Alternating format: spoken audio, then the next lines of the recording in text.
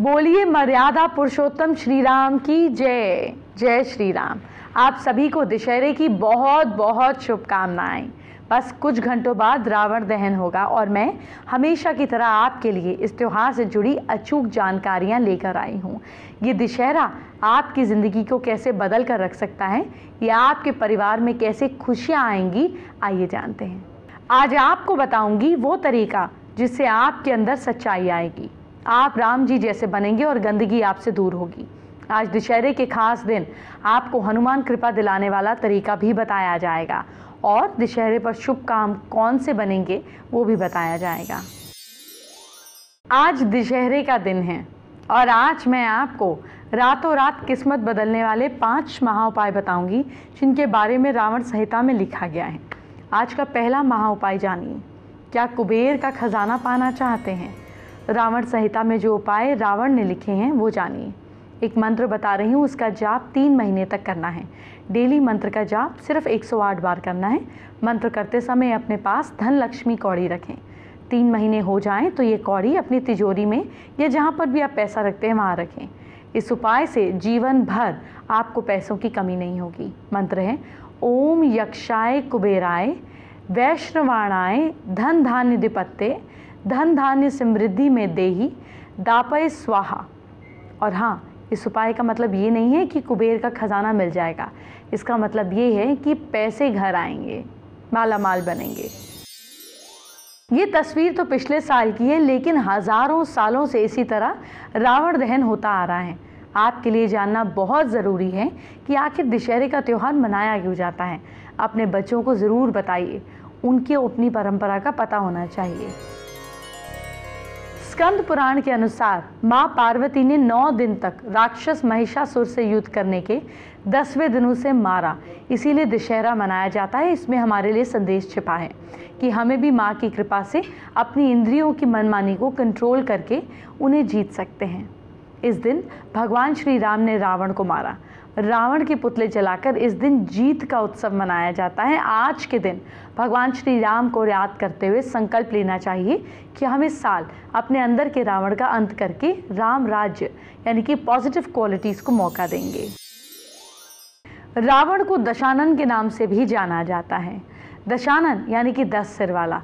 रावण के दस सिर तो ताकत का प्रतीक थे, लेकिन अगर आपके अंदर दस बुराइयाँ हैं तो आपका कभी भला नहीं हो सकता। आपको आज दशहरे के दिन अपने अंदर किन दस बुराइयों का वध करना है, आइए जानते हैं। गुस्से को खुद पर हावी ना होने दें। हमेशा खुश रहें। मुँह के लिए अट्रैक्शन के लिए मुँह का थोड़ा त्याग करें।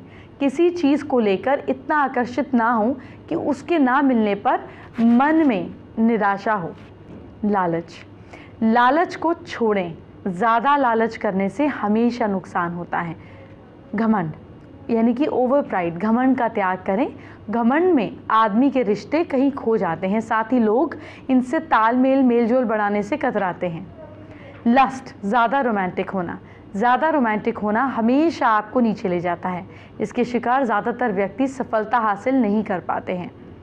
ईर्षा ईर्ष्या को खुद से कोसों दूर रखें। ईर्षा करने वाला मनुष्य हमेशा दुखी रहता है क्योंकि उसे अपने आसपास की खुशी दिखती ही नहीं है।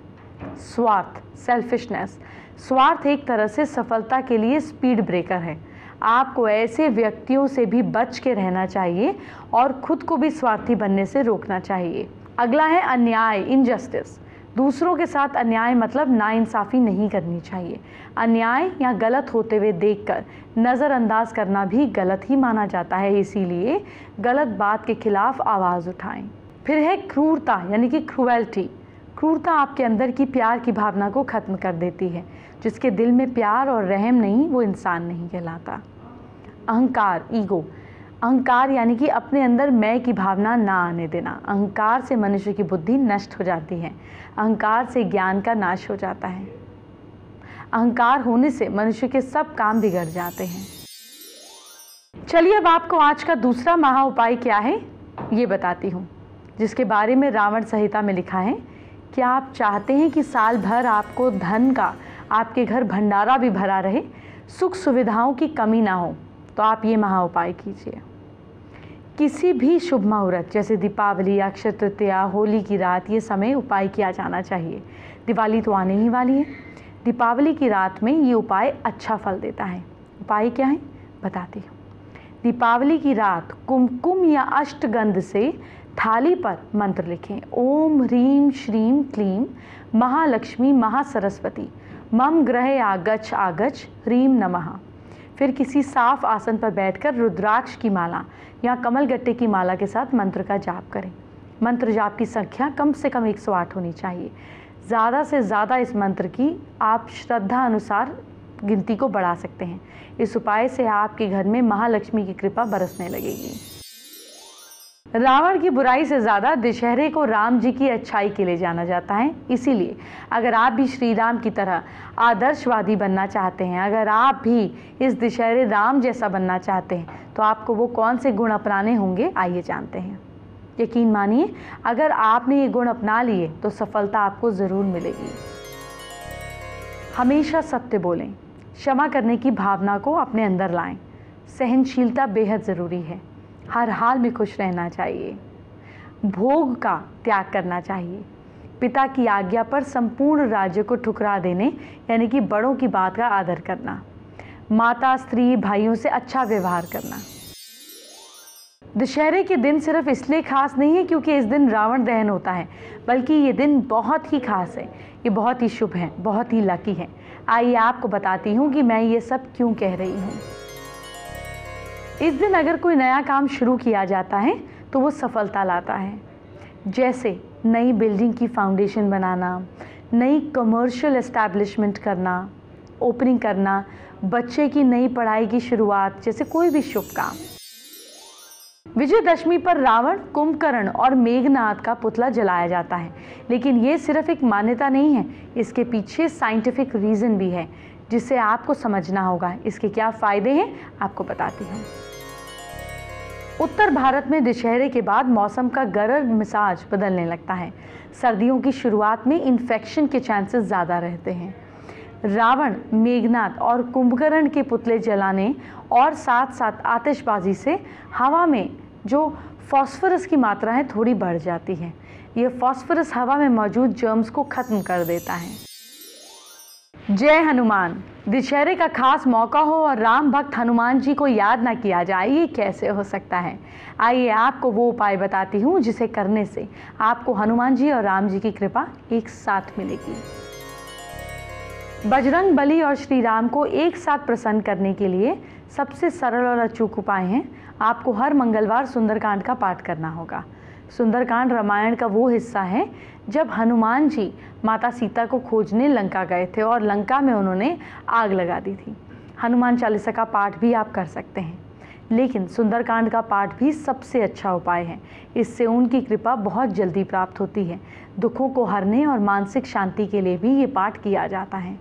हनुमान जी से प्रसन्न होने के साथ ही इस पाठ से श्री राम की भी कृपा मिलती है। इस तरह हर परेशानी को दूर और ज़िंदगी में आगे बढ़ने के लिए सुंदरकांड का पाठ एक श्रेष्ठ और सरल उपाय है।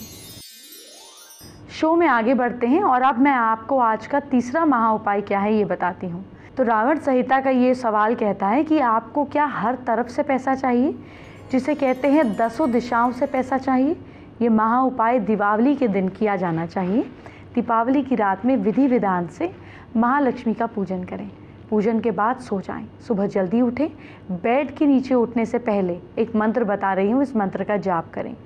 ओम नमो भगवती, पद्म पद्मावी। ओम ह्रीम ओम ओम। पूर्वाय, दक्षिणाय, उत्तराय, आशपूर्याय, सर्वजन वश्य कुरु कुरु स्वाहा। इस मंत्र का आपको 108 बार जाप करना है। इसके बाद दसों दिशाओं में 10-10 बार फूंक मारनी है। इस उपाय से चारों तरफ़ से पैसा प्राप्त होता है। नींद से जगने के बाद पलंग से उतरना नहीं है ये बात ज़रूर ध्यान रखें। अभी तो बहुत सी बातें करनी है लेकिन पहले कुछ खास शेयर करती हूँ। और आज हम आए हैं स्वाति आनंद के साथ रिवाना गोल्ड एंड डायमंड्स में कुछ ज्वेलरी की शॉपिंग करने। हेलो। हाय इस बार मैं आई हूँ दशहरे पर सोना खरीदने के लिए। और हम रिवाना ज्वेलरी में आए हैं और यहाँ इतनी सारी चीज़ें कि मेरी आँखें ऐसी चौंधिया गई हैं, मुझे समझ ही नहीं आ रहा है कि मैं क्या ट्राई करूँ, क्या लूँ। टेंपल ज्वेलरी है जो यहाँ का मेन अट्रैक्शन है और इतनी कमाल कमाल की ज्वेलरी है कि मैं सोच रही हूँ कहाँ से ट्राई किया जाए। मतलब इयरिंग पहले पहनूं या इनकी एक, जो सबसे बड़ी खासियत है, ये छल्ले, जो मैंने पहली बार देखे हैं। इतने सुंदर बने हुए क्या डिज़ाइन है? क्यों ना ये ट्राई करें? ये कैसे लग रहा है? ये भी बहुत सुंदर है और इसमें टेंपल का भी थोड़ा स्टाइलिंग नज़र आ रहा है तो टेंपल ज्वेलरी मिस जिसमें आ, हमारे भगवान जिस भी ज्वेलरी में आ, होंगे वो डिज़ाइन आई थिंक इन, इन्होंने जो नाम रखा है उसका टेंपल ज्वेलरी। तो आ, मैं इसे ट्राई करना शुरू करती हूँ। ये आई थिंक रिवाना ज्वेलरी की खासियत है कि आपको देखकर ऐसा लगेगा कि बहुत कुछ आपने पहना हुआ है, लेकिन पहनने के बाद वो वेट आपको फील नहीं होता है। सो प्रिटी वाह मतलब मैं क्या बोलूँ इसके बारे में? ये बहुत ही सुंदर चोकर है। मतलब मैंने ऐसा आज तक कभी कुछ नहीं पहना है। एक मुझे ये भी बहुत अच्छा लग रहा है लेट्स ट्राई दिस वन बहुत ही सुंदर। ये थोड़ा सा हैवी है, लेकिन बहुत ही सुंदर है। इतना वज़न में सोने के लिए बेयर कर सकती हूँ। तो मुझे ऐसा लग रहा है कि आगरा के ताजमहल से ये चीज़ें उठकर मेरे हाथ में आ गई है। ये इस तरह से आप पहन सकते हैं। These are the lockets actually इसको अकेले भी आप पहन सकते हैं। चेन के साथ में या नॉर्मल कोई कलरफुल स्टोन्स के साथ में इसे अगर पहन लेंगे तो ये कितना खूबसूरत लगने वाला है। मैं तो सोच के मुझे बहुत मज़ा आ रहा है। तो महालक्ष्मी माता हैं तो बहुत ही सुंदर है। तो विजयादशमी पर इससे बेहतर घर ले जाने के लिए कुछ नहीं हो सकता। सभी को स्वाति आनंद की तरफ़ से ढेर सारी विजयादशमी की शुभकामनाएँ। आपके भाग्य को चमकाने वाला रावण संहिता का चौथा महा उपाय भी जान लीजिए। क्या आपका पैसा खो गया है? मतलब आपकी जेब में पैसा नहीं टिकता? रावण संहिता में एक मंत्र लिखा है, ओम नमो विघ्न विनाशाय निधि दर्शन कुरु कुरु स्वाहा। इस मंत्र का दस हज़ार जाप करने से आपको आपका खोया हुआ धन मिल जाएगा। और अगर आपकी जमा पूंजी भी लगातार कम हो रही है तो इस मंत्र से, इस मंत्र के जाप से पैसे में ठहराव भी आएगा और नया धन पाने के संयोग भी बनेंगे। आइए बात करते हैं आज की स्पेशल एस्ट्रो टिप का। रावण दहन के समय जिनको एडिक्शंस की आदत हो, जैसे अल्कोहल हो गई, किसी भी तरीके का नशा हो गया सिगरेट हो गई, इसकी पोटली बनाकर, इसको एक ब्राउन या काले कलर के कपड़े में सात गांठ से टाइट बांधकर रावण दहन के समय अपने ही घर में आग लगाकर, या अगर रावण दहन जब हो जाता है, जब पूरा जल जाता है तो अपने एडिक्शन को यूँ हाथ करके उसमें डाल दें। ऐसा करने पर उन एडिक्शन से आपको छुटकारा मिलेगा। फेसबुक पर ज्योति भूपेंद्र पांड्या ने अपनी प्रॉब्लम हमारे साथ शेयर की है। ज्योति के हस्बैंड जो हैं, ये अपनी कमाई घर पर नहीं देते, जिससे वो परेशान हैं और उपाय जानना चाहती हैं।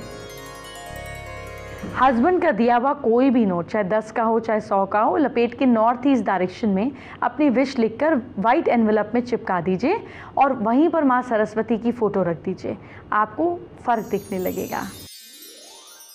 एंटरटेनमेंट की बात हम बाद में करेंगे। पहले आपके कल को अच्छा करते हैं। कल क्या खास करना है आपने, मुझसे जानिए। सबसे पहले मेष राशि की बात। मेष राशि के लोग, कल आप किसी की भी चुगली ना करें। लक साथ दे रहा है आपका 65 परसेंट वृषभ राशि के लोग, शाम को हनुमान मंदिर ज़रूर जाइए। किस्मत साथ दे रही है आपका 67 परसेंट मिथुन राशि के लोग, चमड़े के सामान का यूज़ ना करें। लक साथ दे रहा है आपका 68 परसेंट कर्क राशि के लोग, काले कपड़े अवॉइड कीजिए आप। भाग्य साथ दे रहा है आपका 71 परसेंट सिंह राशि के लोग, गरीबों को दाल दान करें। भाग्य साथ दे रहा है आपका 73 परसेंट कन्या राशि के लोग, सुंदरकांड का पाठ कीजिए आप। किस्मत साथ दे रही है आपका 80 परसेंट तुला राशि के लोग, घर से निकलते हुए ईष्ट का नाम लीजिए। लक साथ दे रहा है आपका 76 परसेंट वृश्चिक राशि के लोग गाड़ी ध्यान से चलाइए। भाग्य साथ दे रहा है आपका 64 परसेंट। धनु राशि के लोग शनि देव को प्रणाम करें। लक साथ दे रहा है आपका 69 परसेंट। मकर राशि के लोग, ज़्यादा पैसे खर्च ना करें।